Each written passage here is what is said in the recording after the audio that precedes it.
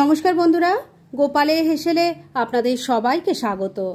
আজকে আমি রুটি, পরোটা, লুচির সাথে খাওয়ার জন্য দুর্দান্ত স্বাদের একটি নিরামিষ তরকার রেসিপি আপনাদের সাথে শেয়ার করব, যেটা নিরামিষ হলেও আমিষ তরকাকেও কিন্তু পেছনে ফেলে দেবে এটার টেস্ট এতটাই ভালো হয়।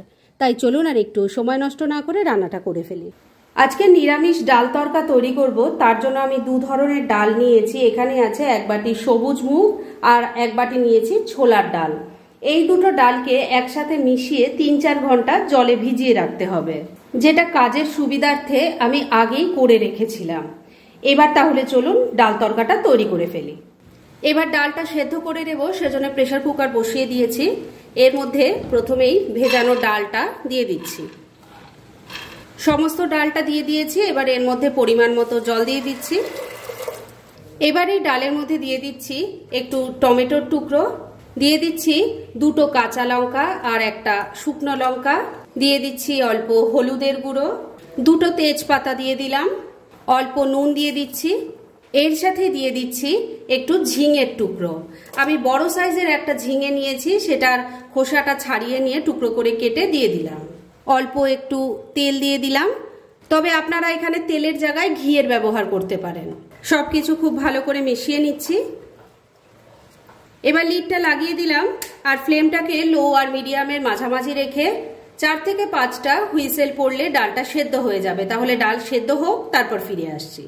চারটে হুইসেল পড়ার পর আমি প্রেশার কুকারের গ্যাসটা বন্ধ করে দিয়েছিলাম আর প্রেশার কুকারের পুরো প্রেশার বেরিয়ে যাওয়ার পর আমি এখন লিডটা খুলেছি। ডাল কেমন সেদ্ধ হয়েছে সেটা আগে দেখিয়ে দিই।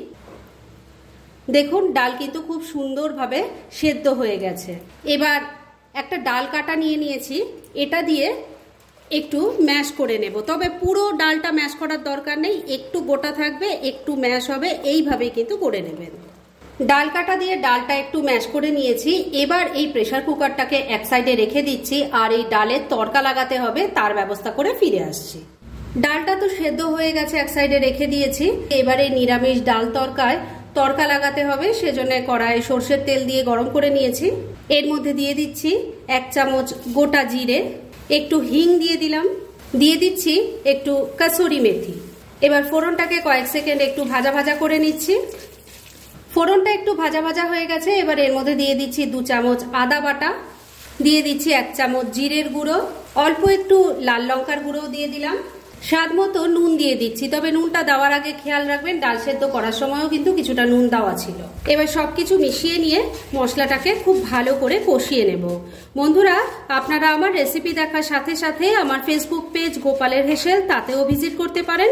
ডেসক্রিপশন বক্সে লিংক দেওয়া আছে। মিনিট খানেক সময় নিয়ে মশলাটাকে একটু কষিয়ে নিয়েছি। তবে বন্ধুরা, এর মধ্যে একটু গরম মশলার গুঁড়ো যাবে, যেটা দিতে আমি একদম ভুলে গিয়েছিলাম। এটাকেও মিশিয়ে নিচ্ছি। এবার এর মধ্যে সেদ্ধ করা ডালটা দিয়ে দিচ্ছি। ডালটা পুরোটা ঢেলে দিয়েছি। এবার এর মধ্যে উষ্ণ গরম জল দিয়ে দিচ্ছি। ভালো করে মিশিয়ে নিচ্ছি। বন্ধুরা, এই ডালটা রুটি পরোটা লুচির সাথে খেতে কিন্তু অসাধারণ লাগে। আর এটা খেয়ে কিন্তু কেউ বুঝতেই পারবে না যে এটা নিরামিষভাবে তৈরি হয়েছে। এটার টেস্ট এতটা ভালো হয়। একবার ট্রাই করে আপনারা দেখতে পারেন। সবকিছু খুব ভালো করে মিশিয়ে নিয়েছি। এবার ফ্লেমটাকে লো আর মিডিয়ামের মাঝামাঝি রেখে তিন চার মিনিট রান্না করে নিচ্ছি। মিনিট চারেক রান্নাটা হয়ে গেছে। দেখুন, ডালটা কিন্তু এবার মোটামুটি রেডি হয়ে এসছে। আমি এই রকম ঘনত্বেই এটা নামাবো, কেননা এটা ঠান্ডা হলে আরও ঘন হয়ে যাবে। তবে এর টেস্ট আরও বাড়ানোর জন্য শেষ পর্যায়ে এর মধ্যে দিয়ে দেব এক চামচ ঘি। মিশিয়ে নিচ্ছি।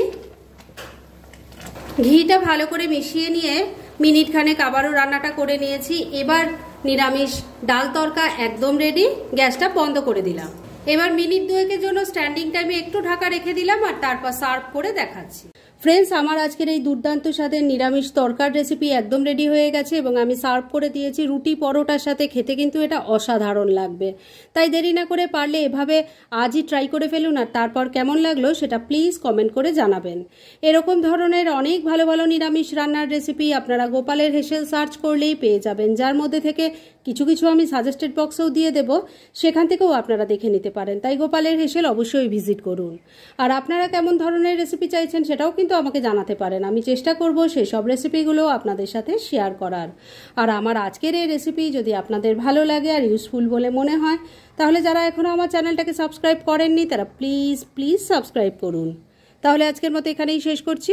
পরদিন আবার এরকমই কোনো ভালো রেসিপি নিয়ে চলে আসব। আপনারা সবাই খুব ভালো থাকুন, সুস্থ থাকুন।